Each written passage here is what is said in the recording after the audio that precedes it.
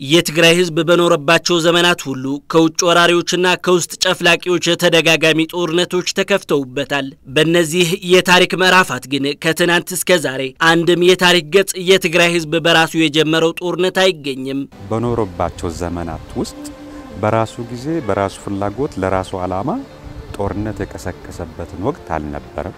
ኢትዮጵያን ለመውረርና ለማንበርከክ የሚመጡት የውጭ ወራሪዎች የመጀመሪያዋን ጥይት የሚተኩሱት ባለው አቀማመጥ የተነሳ በትግራይ ሕዝብ ላይ ነው።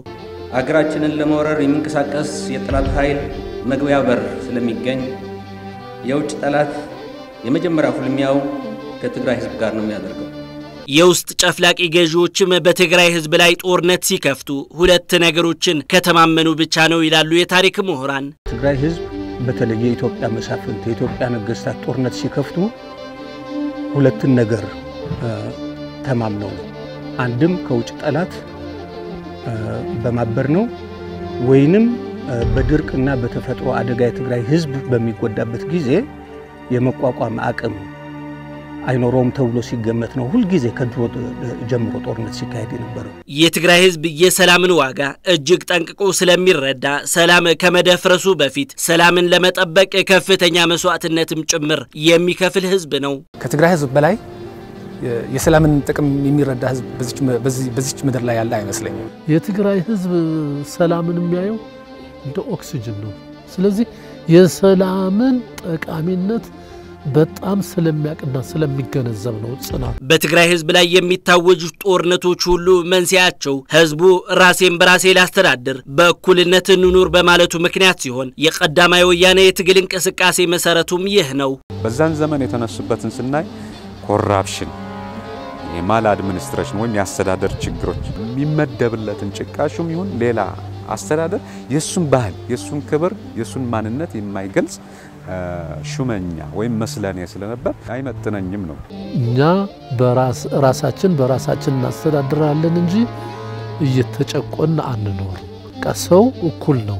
የትግራይ ህዝብ የጭቆና ቀንበርን መሸከም የሚችልበትን ፍላጎት እንደሌለው ያሳየ አጋጣሚ ነበር። ሁለተኛው ወያኔም ቢሆን ከዛሬ 48 ዓመት በፊት የካቲት 11 ቀን 1967 ዓ.ም በደደቢት በረሃ የተቀጣጠለው ትግልም መነሻው ሰላም፣ እድገትና ዴሞክራሲ ለትግራይና ለኢትዮጵያ ህዝቦች በሚሉ ጥያቄዎች ነው። እኩልነት የሌለበት ሀገር፣ ዴሞክራሲ የሌለበት ሀገር፣ ሰብአዊ መብት የማይከበርበት ሀገር ህግና ህግን መሰረት ያደረገ አስተዳደር የሌለበት ሀገር ለትግራይ ብቻ ሳይሆን ለሌሎች ኢትዮጵያውያንም እንደማይጠቅም ትግራይ ወጣቶች ወደፊት የመጡበት አጋጣሚ። በየካቲት 11 ፋና ወጊነት የተጀመረው የትጥቅ ትግል ኢትዮጵያ በታሪኳ አይታው የማታውቅ እድገት እንድታስመዘግብ ያደረገ በድህነት የሚታወቅ ስሟንም የፋቀ ነበር።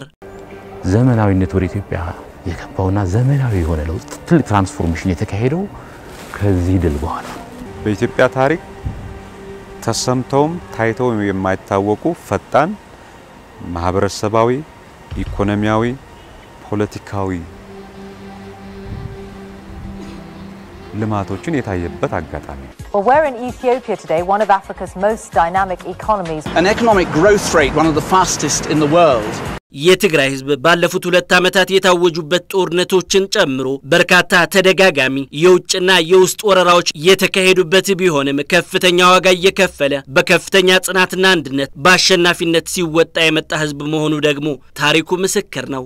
የሚታወጁበትን ጦርነት በድል በጽናት ያልንበረከክም የታጋይነት እንዲሁም በእምነቱ ጸንቶ የመኖር እሴቶችን ይዞ የመጣ ህዝብ እጅ ጠምዝዞ አስገድደው የትግራይን ህዝብ ሰጥ ለጥ ብለህ ትገዛለህ ከሆነ ለንጉሷ ለነገስታቱ አልተገዛም፣ ለፈረንጁ አልተገዛም፣ ለጣሊያንም ለምኑም፣ ለደርግና ለሶቪየት ህብረት ግማሽ ሚሊዮን ሰራዊት ጋጋታ አልተገዛም፣ ለማንም አይገዛም ነው። ይህንን ሁሉ ህይወቱ ሙሉ በጽናትና በጥንካሬ ግንባር ቀደም ሆኖ ሲመክት ሲከላከል ነው የምናየው። ታሪኩ ይህን ነው የሚመሰክረው።